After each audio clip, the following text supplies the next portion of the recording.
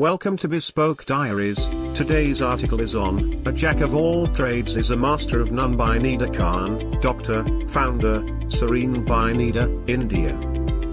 A Jack of all trades is a master of none. This quote defined almost everything she did for the longest time. She has heard it so many times growing up, that it almost became a part of her subconscious. Anytime she felt like doing something new or different, she was reminded that if you switch or split your attention, you were heading towards doom. Growing up, she was always a good student. She did well at academics and had a plan for what she wanted to do in the future. For almost 10 years, she knew she wanted to do something related to space. The first option, like so many others, was to become an astronaut. She bought every book related to space that she came across, read newspaper articles, cut those articles out and made a huge folder with all the cutouts. It was her most prized possession. Every day after school, she would spend a good two hours, rereading the articles and looking for new ones. She even made a telescope of her own with lenses from her spectacles that she didn't wear any longer. Everybody knew what Nida would pursue when she grew up. A couple years in, she realized that maybe being an astronaut was a little far-fetched. She has a terrible phobia of heights and motion sickness. But she knew she wanted to learn about the universe. That's when Nida decided she was going to be a scientist. And thus, continued the dream. When she passed her 10th board with a good percentage, she knew she was going to pursue science. She told her mother, her subjects would be physics, chemistry and maths the infamous PCM. Biology was never even an option because she was so certain of what she wanted to do. For 10 years she had prepared for just this decision and no one was going to change her mind. Well, she was wrong. She attended a biology lecture at an academy and instantly realized how much she loved the subject. But it felt like she was betraying the 10 years of effort that she had put into her dream. 10 years of running to the terrace every time they said you would be able to see a planet. 10 years of looking forward to the day she'd actually see a planet through a telescope. Nida thought she would keep her options open and opted for biology as well. With every biology class she attended, her interest grew. She didn't forget about her dream. It lingered in the background. She kept telling herself she wasn't going to make a decision till she absolutely had to. But she was lying to herself. A little part of her knew that the dream was over. It had its time and its time had ended. This shift made her question the jack of all trades quote. She wondered if she was being a jack. She didn't want to be a jack. She wanted to be a master. But no matter how much she tried, she couldn't shake it off. She needed to accept that she has an undying love for the universe and its vastness, but she also has a love for everything about the human body.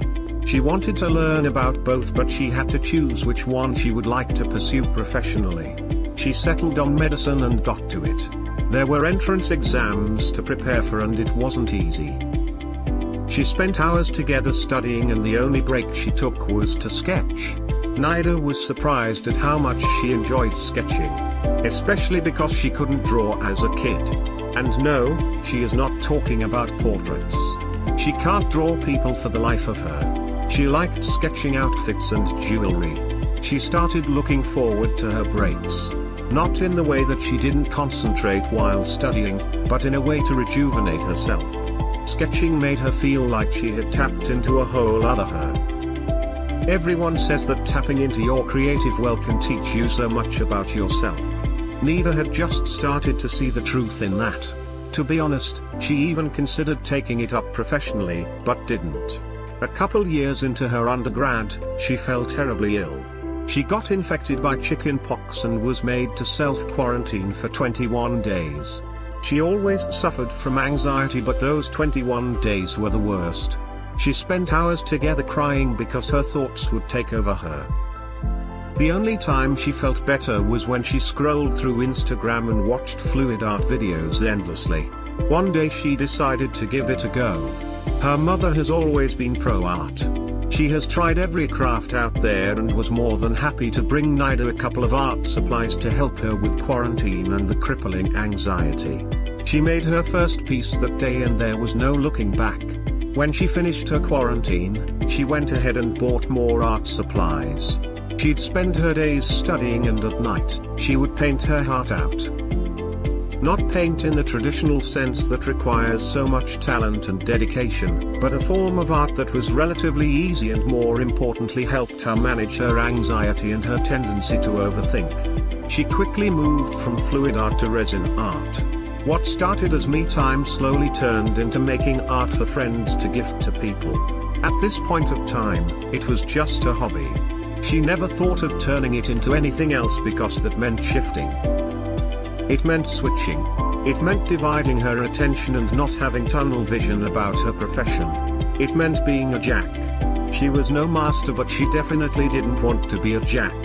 But you know what they say, some things are meant to happen for you and some opportunities are yours to grab.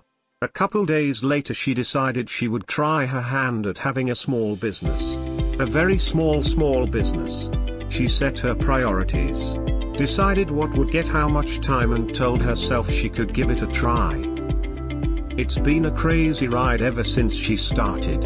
Even today, she works in the day and work on the small business at night. It's far from perfect. She is far from perfect. But she doesn't want perfect. She wants this. This imperfect mess that's her to keep and have.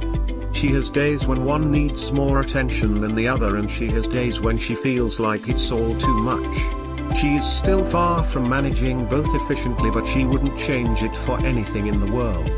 Her parents are always concerned about what she is doing but they've come to accept how things are.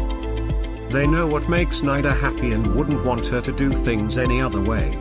Every once in a while, she wonders if she is a jack. And she has come to realize, she is. And she is okay with it.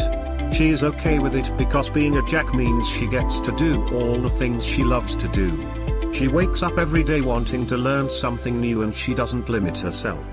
Every time she is presented with an opportunity to do something new, she jumps at it. She still has tunnel vision.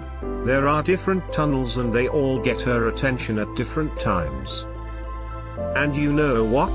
Recently, she came across an Instagram audio that made her realize how dangerous half-baked knowledge is. You see that quote she mentioned in the beginning of this article? Did you notice it ends with a comma? Well, she just realized that all these years, she was letting an incomplete quote determine how she led her life. So, she is just going to leave you with the entire quote and hope it inspires you to do more. A jack of all trades is a master of none, but oftentimes better than a master of one.